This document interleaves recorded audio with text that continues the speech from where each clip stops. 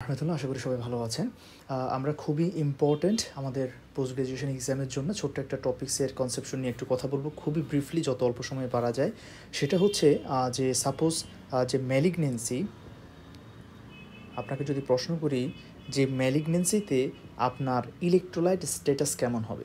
আপনারা দেখবেন ডেভিডসন একটা চ্যাপ্টার আছে অঙ্কোলজিতে যে মানে অ্যাকিউট যে মানে ইমার্জেন্সি অফ অঙ্কোলজি, সেখানে দেখবেন একশো বিয়াল্লিশ number page Davidson twenty fourth number edition সেখানে লেখা আছে ম্যালিগনেন্সিতে দুটা সুন্দর টার্ম আছে মানে ইমার্জেন্সি অফ অঙ্কোলজিতে একটা দেখবেন লেখা আছে আপনার টিউমর লাইসিস সিনড্রোম কেমন?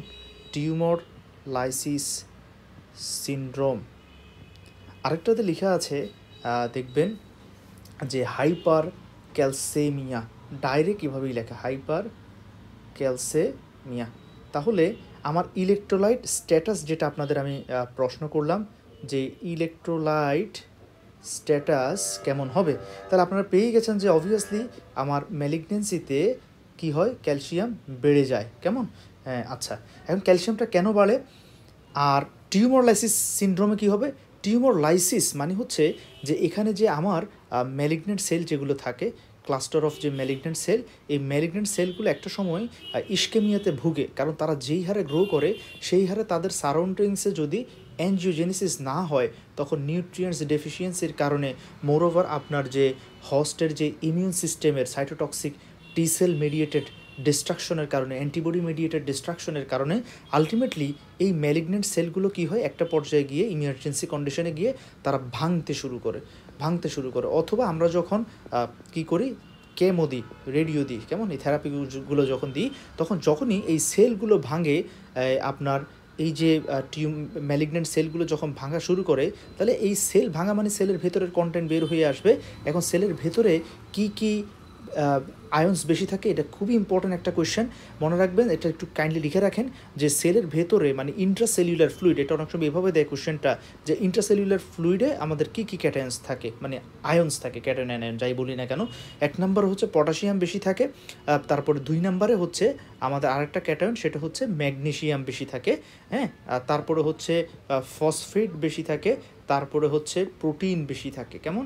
আচ্ছা এবং এই প্রত্যেকটা আপনি ইনশাল্লাহ কোয়েশনে পাবেন। তারপরে হচ্ছে এইচ প্লাস বেশি থাকে। এইচ প্লাস কেন বেশি থাকে? কারণ এই যে সেলগুলো এই সেলগুলোর মধ্যে কন্টিনিউয়াস কি হয়? আমার কন্টিনিউয়াস এখানের মধ্যে যে তার যে অ্যারোবিক অক্সিডেশন অফ গ্লুকোজ হয়, ফলে আলটিমেটলি আমার তৈরি হয় কার্বন ডাইঅক্সাইড সেলের ভেতরে। তাহলে কার্বন ডাইঅক্সাইড এইচ টু এর সাথে রিয়াকশন করে তৈরি করে এইচ টু সিও থ্রি এবং এই এইচ টু সিও থ্রিটা ভেঙে তৈরি হয় এইচ প্লাস এই এইচ প্লাসটা কোথায় বেশি থাকে? সেলের ভেতরে।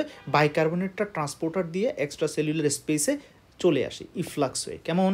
তাহলে আমাদের একটা আইসিএফ বা সেলের ভেতরে আমরা এই কয়েকটা যে ক্যাটায়ন্স এবং অ্যানায়ন্স বেশি পাই ক্লিয়ার তাহলে দেখেন, যেহেতু টিউমার লাইসিস সিন্ড্রোমে সেলগুলো ডিস্ট্রয় হয়ে যাচ্ছে, তাহলে সেলের ভেতর থেকে আমার কি কি বেরিয়ে আসবে?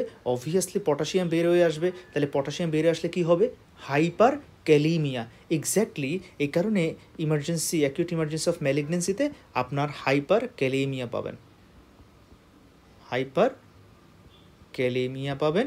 আর অন্যদিকে পাচ্ছেন আপনি হাইপার ক্যালসেমিয়া। তাহলে দুটার ব্যাখ্যা দুই রকম। একদম ডেভিডসনের সরাসরি লেখা, একশো বিয়াল্লিশ নম্বর পেজ, যে হাইপার ক্যালেমিয়া কারণ টিউমার লাইসিস সিন্ড্রোম, আর হাইপার ক্যালসেমিয়ার কারণ হচ্ছে আপনার এই এটা হচ্ছে এখানে প্যারাথাইরয়েড হরমোন রিলিজ হয়।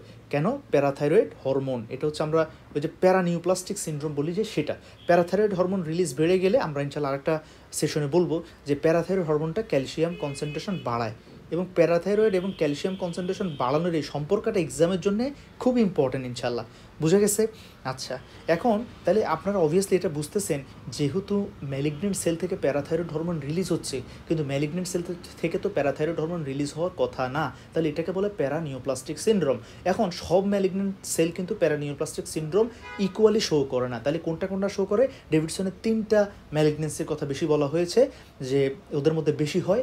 এক নম্বর হচ্ছে squamous cell carcinoma of lung এটাকে অন্যভাবে একটা কোয়েশ্চেন দেয়, যে নন স্মল সেল কার্সিনোমা তাহলে আমরা কি বুঝলাম? আলহামদুলিল্লাহ যে নন স্মল সেল কার্সিনোমা বলল রাইট ইজ আবার নন স্মলের মধ্যে তো অনেকগুলো টাইপ আছে, তার মধ্যে স্কোয়ামা সেল কার্সিনোমা থেকে প্যারাথাইরয়েড হরমোন বেশি রিলিজ হয়, ফলে হাইপার ক্যালসেমিয়া হয়। তাহলে আমরা বুঝলাম যে যে all all all or can lead to hyper kalemia through hyperkalemia through tumor but all but can not lead to hyper hypercalcemia because the all malignant cell don't have the capability to reduce the parathyroid hormone মানে to release the parathyroid hormone বুঝতে পারছি clear okay তাহলে এই কয়েকটা issue আপনাদের একটু জানতে হবে কেমন আচ্ছা থ্যাংক ইউ এভরিওয়ান